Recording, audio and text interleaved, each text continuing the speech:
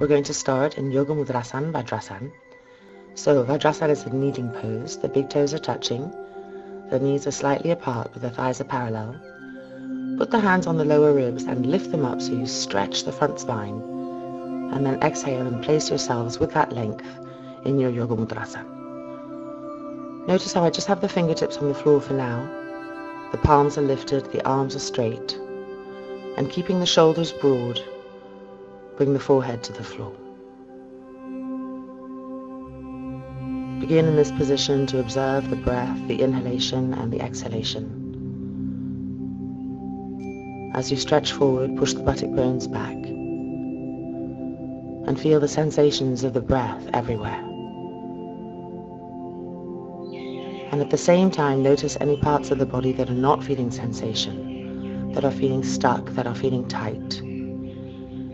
And often just in the noticing, these areas will start to release, to feel breath in them. Keep the shoulders broad, keep the trapezius muscles moving down away from the ears, so the sides of the neck stay long. And even though the body is becoming more alert, more stretched, more open, the face must become more and more passive, more soft. And now inhaling and looking up between the hands. And slowly, gently coming out of your Yoga Mudrasan. So now for our next poses, we're going to need straps. Two straps. Our first pose will just need one strap, but have the second strap handy. And make sure that your straps have a nice big loop in them. Then go ahead and stretch the legs straight. We're going to be lying down in Supta. Make sure your buttocks are moving towards your heels. And find the centrality of the mat. And just observe the left, the right. Keep the legs charged, the feet charged, the heels pressing down, the toes spread. And now take your first strap. Making sure there's that big loop, bend your right knee towards you. Put the whole strap around the leg. So it's going to be right in the root of the thigh and then your left foot is going to take the excess strap and extend the strap out as you extend the left leg. And now interlock your fingers around the front of the right kneecap and we find Ekapada Supta Padana But with the use of the strap, we can really feel the right hip being pulled open. So use your left foot to push the strap until you feel the outside edge of the right hip lengthening towards the left foot. And in this way, the right lower back will also begin to have more broadness and more length. It won't tighten up as you bend the knee towards you. So observe the sides of the back, the left back, the right back on the mat, how they feel, and try to find an equal sensation of evenness between both of them. And now releasing, we're going to change sides. So your right foot is going to hold the strap, and your left leg, the root of the left leg, is going to hold the rest of the strap. And then interlock your fingers around the front of the left kneecap and use the right foot to push into the strap so that the outside edge of your left hip begins to feel the tension of the strap and with that action you can roll it towards the right foot. Go with the mind to the lower back, to the left lower back, to the right lower back and see if you can make an even sensation of broadness on the mat. Keep the face quiet and passive, the shoulders back, the chest open. Just gently allowing the sacroiliacs, the hips, the lower back to feel themselves in a new way. And now releasing, changing sides again. So the left foot will push the strap and the right leg will hold the strap at the groin of the leg. And now take your second strap and make a little loop with your second strap. Hook it over your right foot and straighten your right leg to the sky. So we come now to Supta Padangusthasana 1. Your arms are stretched straight on the floor behind you, giving tension to the strap of the right leg. The left foot is still firmly pushing against the other strap, pulling the outside edge of your right hip towards your left foot. And with the arms straight, you can really start to feel an opening of the front trunk of the front rib cage, of the front torso, of the armpits. So length is coming everywhere to the body, but in evenness. The straps are keeping things even. A certain awareness that allows the body to hold itself in a good alignment. Keep pushing, gently pulling, breathing. And then exhale, release the little loop strap. We're going to change the legs of the big loop. So the left thigh is going to be holding the strap in its inner groin. The right foot is pushing against the excess strap. And now you're going to take your second strap with the little loop already prepared. And you're going to hook it over your left foot and straighten the left leg to the sky. Supta Padangusthasana 1 on the left hand side. And sliding the hands down the strap so the arms are straight on the floor behind you. Now charge that left extended leg. Try to straighten the knee completely, to broaden the back of the knee, to broaden the back of the thigh. Pull with the hand so there's a resistance in the strap against the foot and push the foot against the strap. And at the same time, remember that the action of the right foot is to continually push into the inner edge of the foot and the strap so that the outer left hip feels that pull to move towards the right foot. So the broadness of the lower back is being kept, even in Supta Padangusthasana 1. Find the straightness of the arms linking to the length of the waists, the length of the waist linking to the opening of the front trunk. And then gently exhale and release. Unhook yourselves from both of the straps and place them by the side. So now we've had an experience of real evenness. Go ahead and stretch your left leg straight with the heel down, the toes facing up. Interlock your fingers around the front of the right knee. Ekapada without the straps. And see if you can replicate now the movement that the strap would bring to the outer hip. The outer right hip wants to roll down towards the left foot as you bring the knee towards you. So let the memory of the strap on the cells, on the muscles, direct the pose. Changing sides, extend your right leg straight, press the heel down, the toes up. And now bring your left knee towards you, interlock the fingers. Roll the shoulders back, feel the opening of the groin.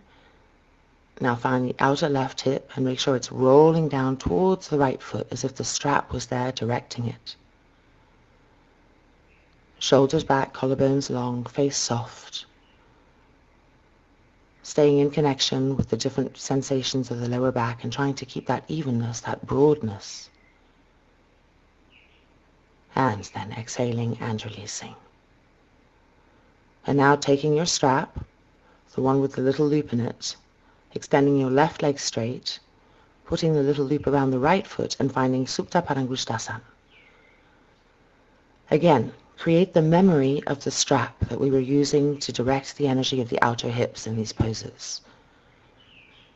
So find that right outer hip, and even as you draw the right leg towards you, roll the right outer hip towards the left foot, and feel the difference this makes in the stability and evenness of the lower back. Keep both legs straight, both feet charged. Press the left heel to the floor. Charge the right foot to the sky and push the quadricep muscle of the right leg away from you even as you draw the leg closer so the leg in this way becomes straighter. And then exhale and release. Changing sides, extending the right leg straight and bending the left knee. And then putting the strap on the left foot and straightening the left leg to Supta Padangusthasana 1, the arms above the head. Find the straightness of the legs, find the charge of the legs. And now find the more subtle work, the memory of the last strap, which will be pulling the left outer hip, rolling it down towards the right foot, even as you bring the left leg towards you. Keep the legs stretched, the right heel pressed down firmly, the left foot charged, and see if you can draw the leg closer, but make sure to move the quadricep muscle of that lifted leg away from you even as you pull the leg towards you. So opposite directions. This keeps the legs straighter. The arms are stretched, the waist is long. And then gently exhale, release the strap, and release the legs. So now we understand that Supta Padangusthasana has so much going on in it. So when you remove the straps, can you create the same sensations of the strap? And from here, coming to Dvipada Supta Pavana Muktasana. The inner knees are touching, the inner feet are touching. A distinct feeling of symmetry between the left, between the right. And through the placing of external symmetry, we can begin to feel where we might be unsymmetrical, where there might be tension, pain, a particular holding on. Keep rolling the shoulders back so the chest stays clear and gently pressing the shoulder blades into the upper back to open the chest. And then exhale and release. Coming to some hip openers now, so place the outside edge of your right ankle on the front of your left thigh. Your right hand pushes the right inner knee away from you as your left hand draws the left bent leg towards you. So you should be able to feel the outside edge of your right hip, the right back, the entire outer right hip area, stretching, opening as you draw the leg towards you. Breathe, Relax the abdomen, shoulders back. And then exhale and release. And now changing sides. So the left outer ankle on the front of your right thigh. Place the left hand on the left inner knee as you pull the right leg towards you. And feel the left hip begin to broaden. Keep rolling the outer left hip down towards the end of the mat. Shoulders back, breath steady, throat soft allowing the opening to penetrate before exhaling and releasing. And now we're going to come to another hip opener. So bring the feet off the floor and cross the right knee completely over the left knee. Then reach with your hands for the outside edges of your ankles. And draw the feet, the calves, the ankles towards you. Keep the feet flexed. And again, feeling the broadness of the hip the musculature being lengthened, being broadened.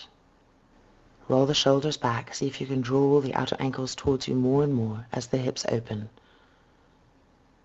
Stay in touch with the breath, with the breath moving through the areas of sensation, releasing, relaxing. And then uncross the legs and change sides. So now you bring your left knee over your right. And again, reaching for the shin, or if you can reach the outer ankle, Keep your feet flexed. Keep pushing through the balls of the feet, spreading the toes so the energy moves out of the hips all the way through the legs and out of the feet. Keep close connection to the sensations, the breath. Work the breath to create more clarity, more evenness in the body. Relax the face, relax the throat. Allow the freedom to gently come before releasing, uncrossing the legs and bringing the feet back to the floor. Feel the evenness in the hips. Extend the arms out to the side of the body so the hands are in line with the shoulders. And now coming to Jathara Parivartanasana, twists. So bringing the feet off the floor and rolling your knees over to the right. As you roll your knees over to the right, make sure the knees land quite high, close to the elbow. And gently begin to turn and gaze down the length of your left arm. Have a soft, smooth inhalation and a soft, smooth exhalation, using the exhale to roll to create more passiveness, more twistingness. And try to keep that alignment in the legs so the inner feet are still in touch with each other, the inner knees, and in this way you can be sure that the hips are stacked properly on top of each other. And now bringing the legs back up, preparing for the other side. Jathara Parivartanasana, simplified, twisting to the left, Make sure your knees are stacked, your feet are stacked. And then go ahead and turn and gaze down the length of the right arm. Each inhale lengthening the front spine, each exhale pacifying, softening so that more and more twistingness can occur in the trunk. Keep the collarbones long, the shoulders rolled back. And even here, the shoulder blades slightly pressing into the upper back to help open the chest from the back body itself. Relaxed face, relaxed tongue. But keep the feet, the legs sharp and aware, the hips stacked on top of each other. Looking for that evenness, to move from evenness. And then bringing the legs back up. and placing the feet on the floor. And just allow yourselves to lie here a little bit, making sure that you feel the evenness of the hips, the left hip, the right hip, before rolling over to the right hand side and pushing yourselves up. So coming back to kneeling on our mats, but this time turning the toes under, we're going to stretch the feet a little bit. The feet play an important role in everything. We stand on them all day long, so as they get twisted and tight, this is going to snake up the body with time. So we want to stretch them, keep them broad and open and even. Bring the hands now behind the back, interlock the fingers together. Roll your front shoulders back and stretch the arms back. So the shoulders are opening at the same time, the chest is getting a lift. Deep inhalation, deep exhalation.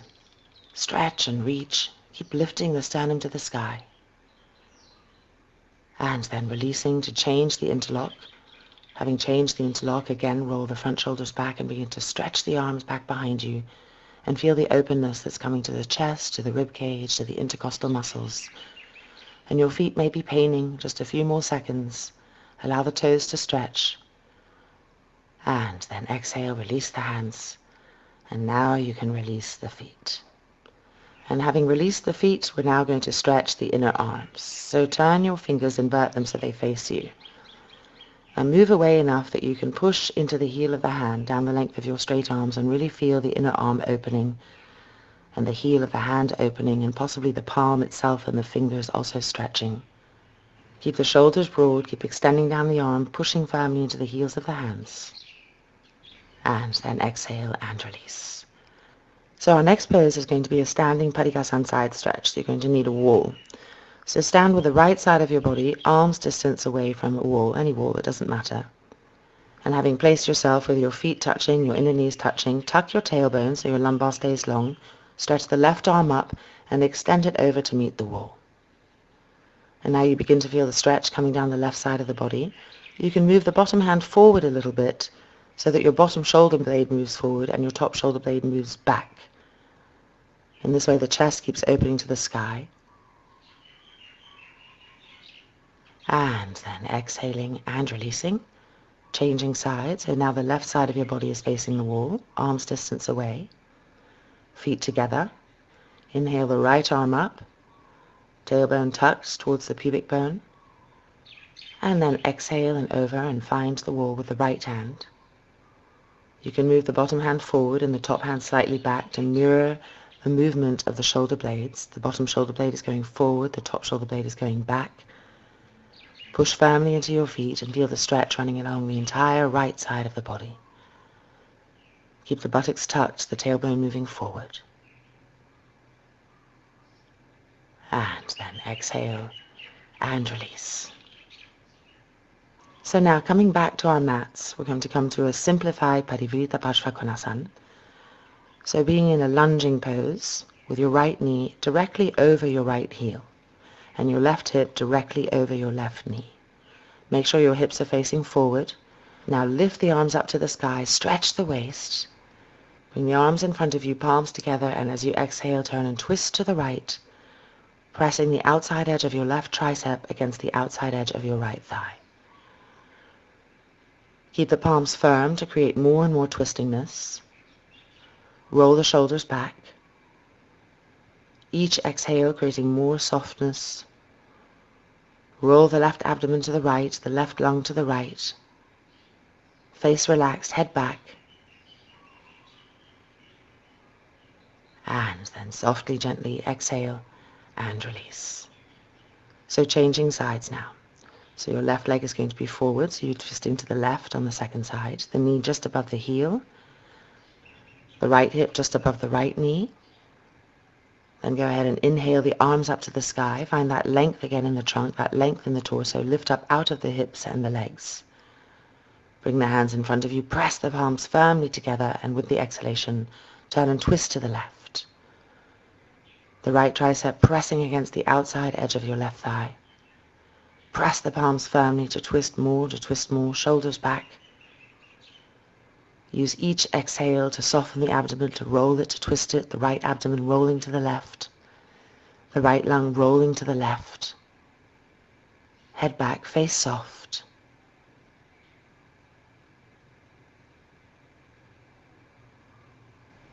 And then gently exhale and release.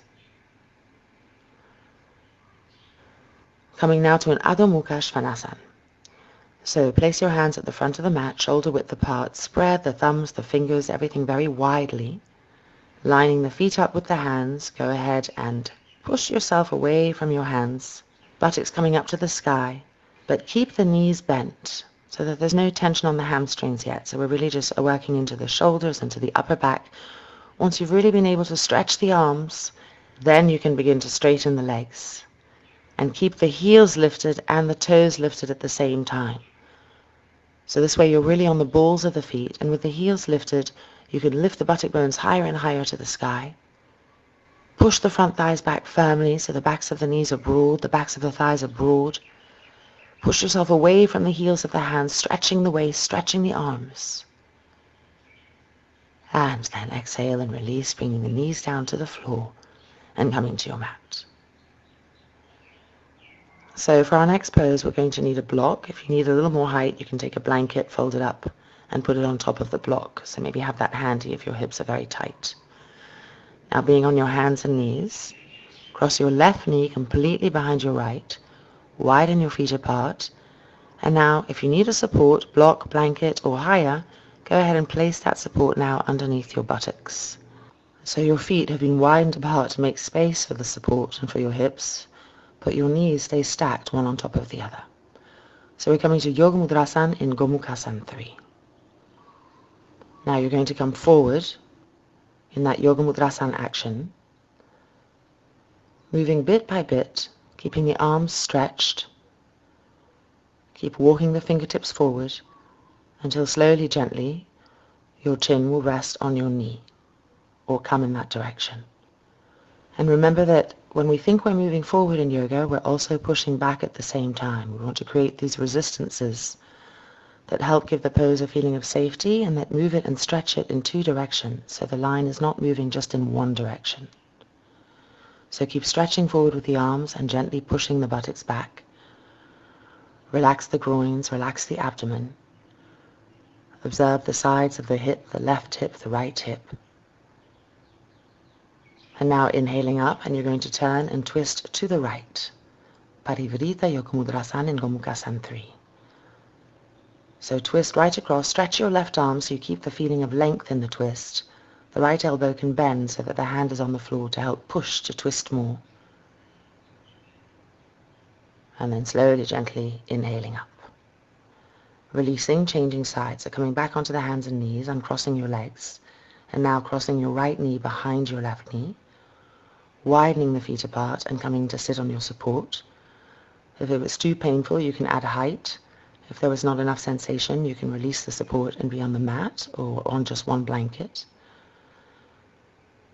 And then having found the base position, go ahead and come forward to Yoga Mudrasan. Walking the fingertips forward bit by bit, stretching the arms, keeping the shoulders broad.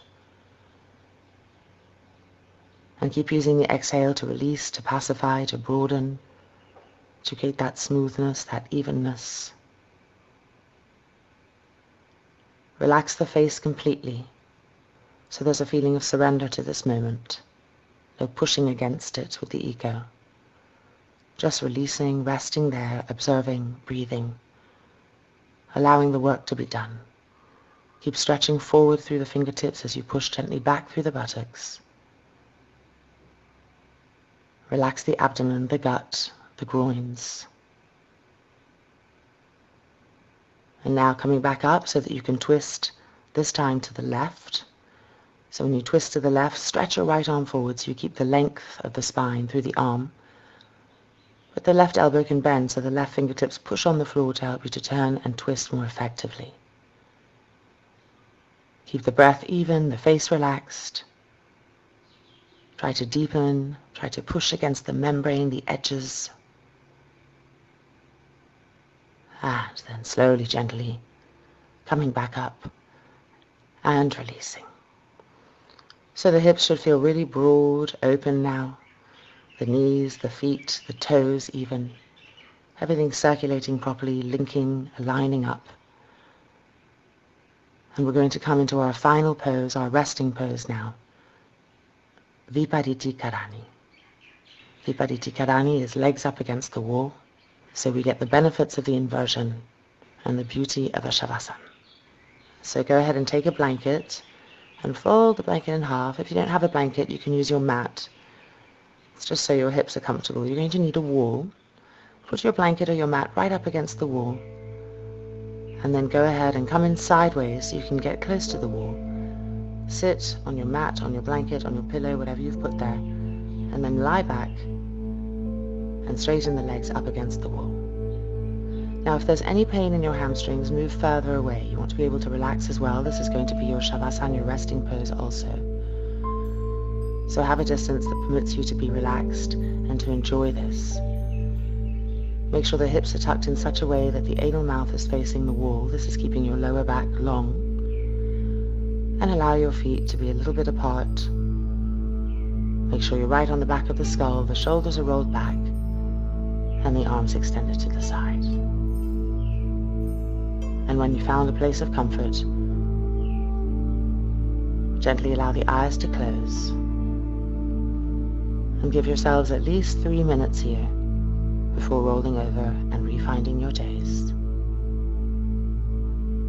This pose is amazing for the immune system. Even if you don't have time to practice, to do any poses during the day, I recommend lying with your feet up against the wall every day, no matter what's going on. Just allowing the system to restore, to regenerate,